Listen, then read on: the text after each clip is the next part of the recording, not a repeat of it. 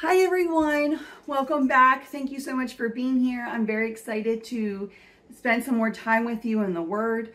Um, just a real quick note, I'm making this video much earlier than I normally do because I do have a career fair to get to. Um, that's going to take up most of my day just because of travel and the time um, that it runs. So it's so early in my day that I don't have an update to you guys. Um, you know, it's I'm hopeful that I'm going to hear something from somebody today because I had a really exciting Friday and then crickets all week. So, um, I'm just, I'll let you guys know tomorrow um, if I hear anything. But I'm just going to jump right back into where we were yesterday because I want to make sure that I get this to you um, to have today. So again, we are currently in the book of Matthew. I am going to stay in chapter 7. I think that it's very important that we finish this up, uh, mostly because I was not led to go anywhere else. Um, you know, so I think there's some more stuff for us to read in here. So yesterday we read um, verse 15 through 23, but we're going to jump over to verse 1. And we're going to read verse 1 through, it looks like 5. So hopefully this one's a little bit quicker because there's less verses to go over with you. This chapter, chapter 7 in the book of Matthew, um, starts with talking about judging others. So the, even non-Christians are familiar with the fact that the Bible says not to judge people. And that's something that the culture today uses all the time. It uses all the time that we can't judge people. So the sin that they're living in and what they're doing with their lives, like you can't say anything about it. That's what culture is saying. Now, if you remember, we read when we were reading in Galatians, we read that you very much can say something about it. You can restore your brother or sister lovingly. You can recognize sin. You can say something about it. What we cannot do is judge them. Now, judge is being used in the same way that God will judge us in our lives. You know, we who are we to say that God cannot restore somebody, who God cannot use what they're doing, who, you know, maybe they're struggling with sin. And, in, you know, when they're alone, they're praying, you know, God, I'm so sorry. I'm so sorry because I don't want to do these things anymore, but I just keep doing it. You know, I told you guys that we are slaves to sin if we do not repent and if we do not ask God to help us with that. If we do not give those things over to the cross and change the way we live our life and allow the Holy Spirit to lead us out of that sin, we will keep coming back to it. And that's everything. That's not the big sins. But, you know, there are some sins that people see and there are some sins that people don't see. And so we cannot judge somebody by what we saw in a very small moment of their life. Okay, um, so we're going to get started here. I'm a little bit excited about this one. Um, just again, because I'm just so happy with what God's been doing. Um, you know, being making these videos with you guys is such a spiritual experience for me, and it has it has been making a huge difference in my heart um, and in my life. So, verse one is do not judge, or you too will be judged. For in the same way you judge others, you will be judged. And with the measure you use, it will be measured to you. So again, you know, we're not to judge people. And however we judge them, God will judge us. We need to repent from that type of behavior. We need to stop looking at other people. And remember, we are not fighting against flesh. Okay, we are all children of God. We are all walking different lives. Just because I've been a Christian most of my life doesn't mean those who are, I mean, there's people I know that became a Christian in their very late years who are beyond 50, beyond 60, who uh, just find Christ very late in life. And who am I? Who am I to well, you know, you messed up a whole lot. You, you did all these things and for all those years, like, like how are you going to get into heaven? That's not me. That's not, I don't have the ability to say who goes to heaven and who doesn't go to heaven. That's that's not I don't have the right to judge people. Only God has the right to judge people. Also, you know, I said it a little bit ago, but what we see is just the, the tip of the iceberg for people. We cannot know truly what's in their heart. We cannot ever say that, you know, hey, good luck with that. we and that, we can't say that somebody is a bad person because again, our fights are not with people. It is with the evil spirits and the principalities of this world. That's where our fight is, and that's where we need to take this. When we see somebody in sin, we do not need to judge them. We need to pray for them. We need to pray that they will hear the Holy Spirit, that they will find conviction in their hearts to stop what they're doing. Okay? Because again, that's their life. Now, I know that that's hard. It is so hard when it's somebody that you love, somebody that you know. It's it's terrifying to think about people that you love not going to heaven. But that's them. That's their choice. God gave us all a choice to choose him or not to choose him. And if God gives us a choice, if God says that it's okay for us to have the ability to choose, and that's what he wants for his creation, then who are we to force people to live their life a certain way?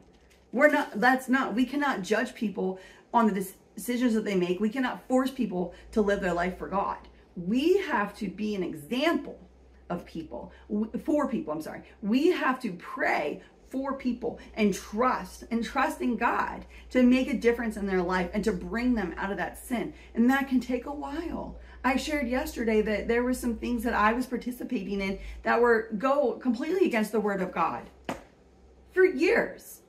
It, I don't want to say it was a part of my identity, but I mean, it was a passion of mine. I would talk about it with anyone, you know?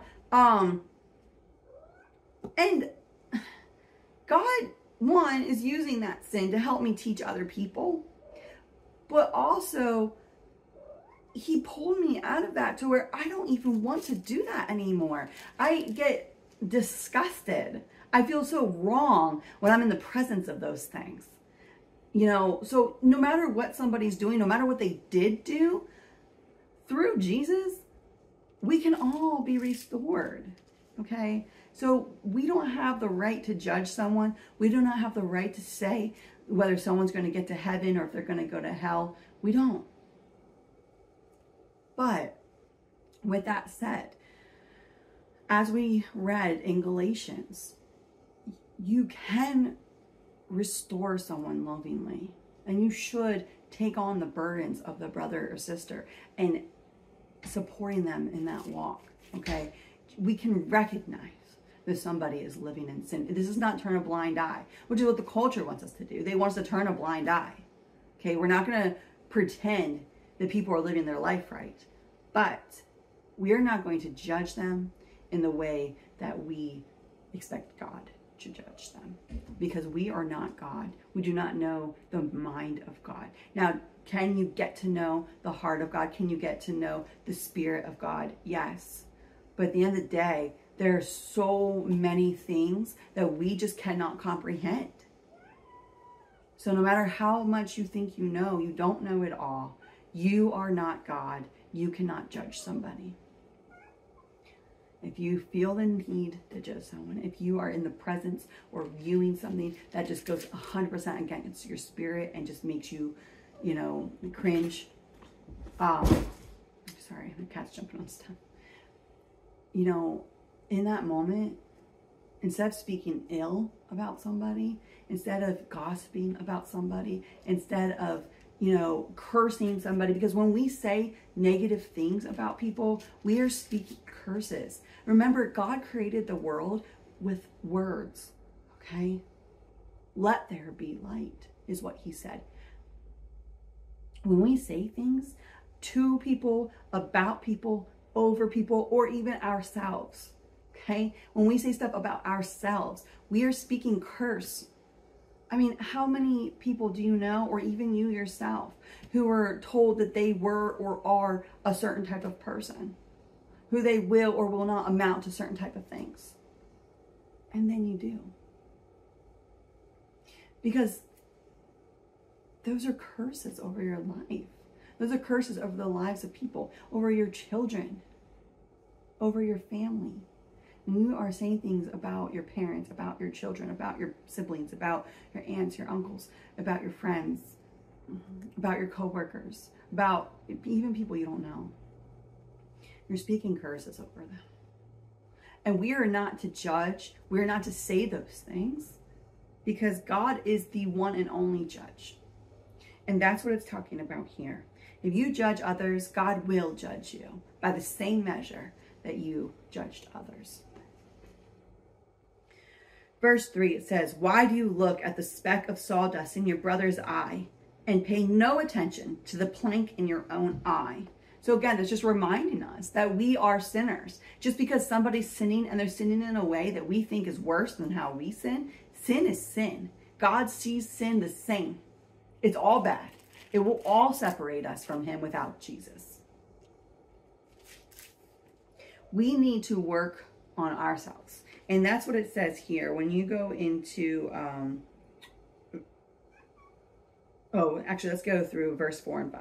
So, how can you say to your brother, Let me take the speck out of your eye, when all the time there is a plank in your own eye? You hypocrite. First, Take the plank out of your own eye, and then you will see clearly to restore the speck from your brother's eye. Again, you know, we refer to the church body as brothers and sisters because we are all children in Christ. We are all brothers and sisters in the family of Christ. Okay, so it's talking about the church body when it says that. It's not talking about specifically your brother or sister, though that could be your true blood brother or sister regardless, that was instruction from Jesus to remove, to deal with the plank in your own eye. So, what that is, the plank is your sin. Okay. You need to deal with your own sin before you can go and rebuke other people. Okay. In, in this, it's judging other people. But uh, what that is, is not again, that we can't recognize that somebody is in sin and that we can't support them, gently restoring them, taking on the burdens of that sin for them and, and helping them through the situation. But it is important, and the instruction from Jesus is to deal with the plank in your own eye. Because again, we're only seeing a speck of somebody's life. So we're judging, or, or you, you could be judging somebody off of just a small bit of their life, a small part of their sin, where you have a whole, all of your sin. It's yours. You're aware of everything, whether or not you're doing something about it. You know, that's between you and God, but you need to, you need to do something about it if you're ever going to be able to help somebody do something about their sin. And by the way, this just came into my heart a little bit, but if you can't support that person, if this is somebody that you don't know, somebody you've never met, and you don't have any influence into their life, just pray for them. Pray for them because when you sit there and you talk about them and you say bad stuff about them, again, you know, not only speaking curses, but what are you doing? You're not helping anyone. So if you're going to do those things and act like you're doing them in love, what how are you giving them love? Okay? We need to not have a holier than thou attitude. Yes, it is important that we recognize sin. It's important that we turn from sin. But everyone's walk is between them and God, not you. We are not God. We do not have the ability to judge others. Okay? And that's what that's saying in in the scripture right there. It is not that we need to ignore sin. That is not it. The culture will tell you so. That's not true. But we cannot judge others' sin. So with that, I'm going to leave it leave you guys. I'm going to head out of here really soon. So wish me luck. Um, I hope to have some good news for you all tomorrow. But thank you very much for everything. Thank you so much for following me. Please, again, go to YouTube if you can subscribe. I would really like to be able to meet their minimum subscription uh, requirements to be able to go live. Uh, appreciate you all for everything and have a wonderful day.